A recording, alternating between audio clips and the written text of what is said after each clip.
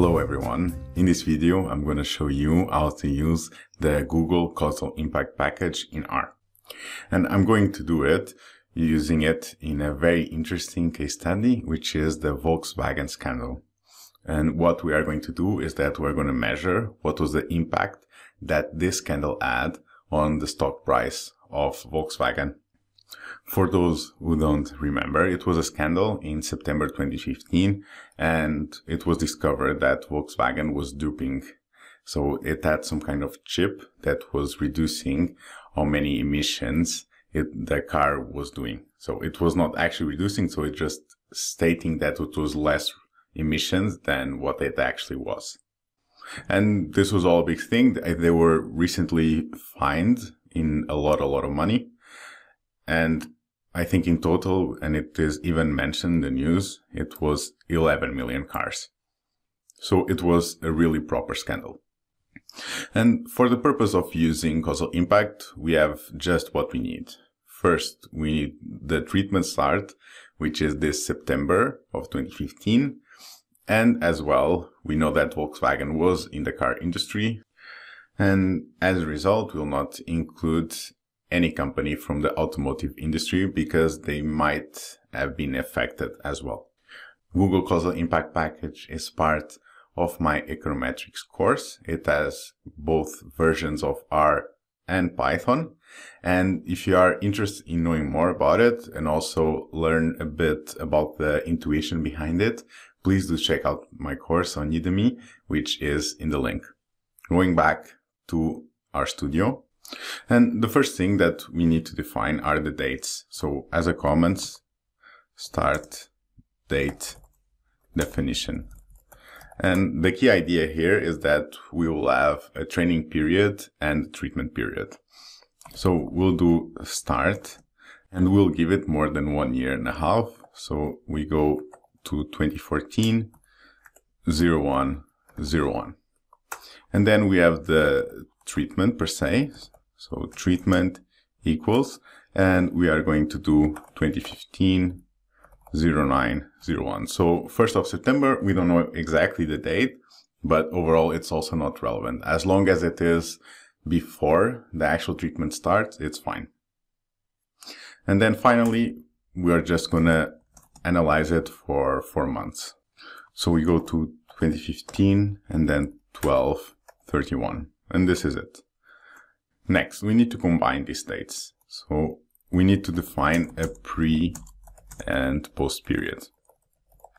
And the key idea is that causal impact knows when it was the actual training period and it, when it was the treatment period. And very simply, we'll call it pre-period and we'll go and do and C to combine and then we combine our uh, start and as well we combine our treatment. Now the thing is, is that overall encoding dates have a very particular uh, structure. And when we include here the quotation marks, it tells us that it is a string. Now for causal impact work, it needs to know that it is a date. As a result, we need to do as dot date over here and then close the parenthesis over here. And this way it knows. So if we are to now run this, we see here that it is a string. And now if we run this, it immediately knows that it is a date format. Next, we need to do the same, but for the post period. And again, now we know, so we do as date, then C combine, now we start off in the treatment per se, and then we go up until the end. Let's do Control Enter again to run. Here we go. We have our post period. Next, we need a, a data set and we're going to retrieve uh, weekly data from the stock price of Volkswagen and then some other scandals. To do this, we need a very particular package. As a comment, we are going to retrieve data and to do this, if you don't have it, you can do install packages and then tseries. I already have it, so I'm going to leave it as a comment and I will just do library and then tseries. And this will be it.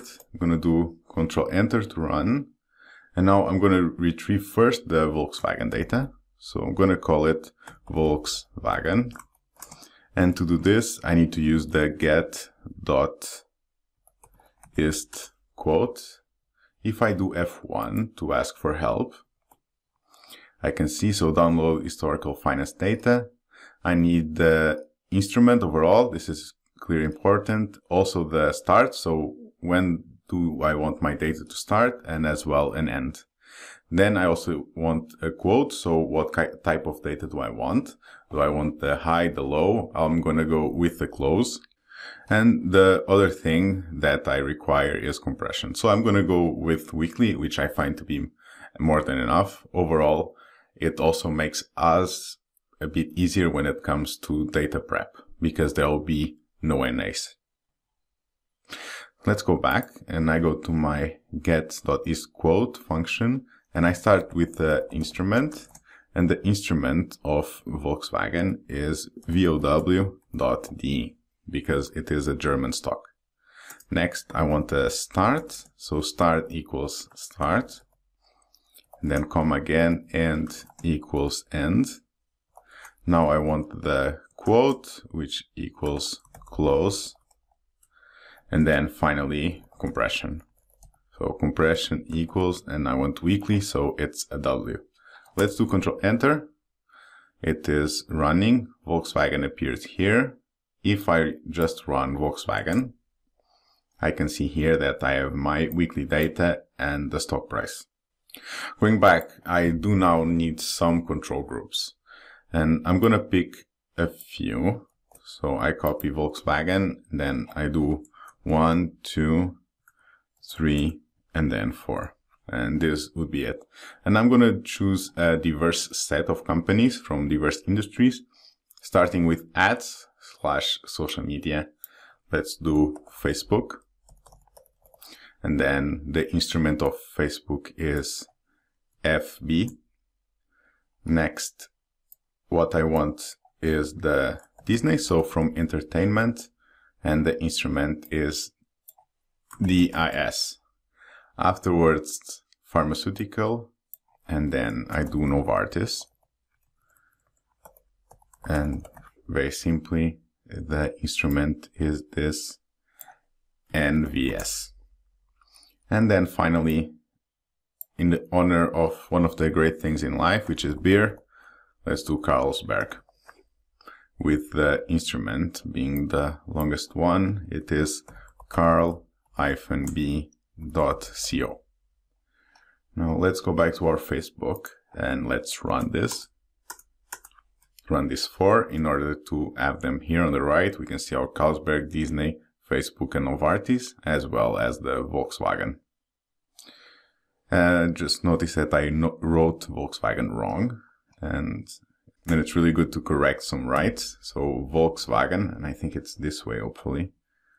And now I'm going to do control enter again just to have it right. Next, what we want to do is that we want to combine all our stocks. So getting as a comment, getting our stocks together. The key idea is just to have one object that we can mention that it has all of them. And we'll call it stocks. And then we do our arrow. We do cbind to combine and bind them together. And now we just need to write them all. So we have our Volkswagen. Next we have Facebook, then Disney, as well Carlsberg, and then finally Novartis. This is it. So if we do control enter, stocks appear here. If I just run stocks, control enter again, and basically I have here Novartis isolated, but if I go up, then I have here the close Volkswagen, close Facebook, Disney and Carlsberg. Next, we do want to make sure that our control group is good enough. And the way to do it is that we check the correlations in our training period. As go, so checking correlations in the training period. And overall, we want them to try to be at least above 0.4, maybe 0.5 is ideal. If anything, the higher the better. So if you have everything at 0.9, absolutely amazing. Moreover, um, more is more. As a result, let's do correlation. And the key here is that our data set overall comprises from the very start until the very end. Nonetheless, our correlation will be just in the training period. As a result, we need to subset our data set so that it only includes this data of for our training period. Moreover, we have time series. So we need to use a very particular function, which is window. Open parenthesis, let's do F1 to see. So we have time series for, which is called windows, and it's basically a subsetting function for time series. We have here the X, which we have done, which is the stocks. And we also have to include the start and an end. So we go and we do stocks. So this will be our X. Then we have start. So start equals start. And then our end will be equal to treatment. And here we go. Let's do control enter. We have here our correlation. And next, what we want to do is to actually do the correlation. So core. And the only thing, if we do F1, that we definitely must include is the X. So the Y is optional, the NARM is also optional. We also don't have NAs. So we can just go ahead and include our correlation over here. If we do control enter, we have a look at Volkswagen and we see that it is really not correlated with Facebook, so very poor. And it is somewhat correlated with Disney, Novartis and Carlsberg. So everything above 0.5, so more or less fine. And as a result, what I would actually do is that I would challenge you to go and find more stocks that would be more correlated in order to have a better control group than what I have achieved here. As a result, we are going to drop Facebook so we just go to our stocks and the key here is that we'll have a final stocks. So to have like a final data set because the correlation is just for us to have a look at our control group that we have and just to weed out the stocks that are not worth it. And in our case is Facebook. So we just delete and we have our final stocks which have appeared here on the right. Next, we are actually finally ready to use causal impact and as a comment, so doing causal impact. Now, for those who don't have it, we can do install packages and then causal impact. I already have it, so again, as a comment, and then I just use the library command to pull out causal impact Control enter. And now we need to create an object in which we will store the causal impact model and we'll call it impact. And again, we use the causal impact. So this is the function that will enable us to use. So if we do F1 on causal impact, we know that we can do a lot of things over here. Let me increase the size of the help function and the key idea here is that we can use the data. So this one we must use as well the pre-period and the post-period. We have everything ready. And then we have model args. This is completely optional. Personally, I like to use nseasons, but in order to keep this video as short as possible with just the very basics, we'll skip all the optional stuff. So let's continue. So we do data and data equals final underscore stocks comma. Now we want to have our pre-period. So pre-period equals pre-period. Remember that we prepared it at the very beginning. And then as well, our post period, post period equals post period. Here we go. Let's do control enter to run. And we see an error here, but don't worry about this one. This is just a formatting one. And it's actually a result that when we did the dates, we just put here some dates and then we put weekly level. And of course, they won't match as well. Fortunately, this is also not an issue when it comes to running because as you see, we just get the results and this is just a formatting error. So nothing to worry about. Next thing that we want to do is to now check the results. And I'm going to do two things. So we have the summary of the impact and then we have as well the plot of the impact. I usually start with the plot because I think it looks better. If we zoom in here on the right and then now looking at the graphs, I would literally just focus on the cumulative one, which is the one that really matters and that tells us the results. Google Causal Impact enables us to say whether the impact is greater in the beginning, middle, end, if there's been some kind of slowdown or recovery. And overall, we did put four months. And what we do see here is that the impact has been a constant straight line, that there has been no recovery whatsoever. And overall, these are the results that we more or less expected because it was such a big scandal involving so many cars that it was really expected this to be negative. Going back. And the last thing that we can do is this summary. And just to see what was the effect. Now we're talking about stock price, which is a relative KPI. As a result, we cannot look at this cumulative column. We can just look at the averages.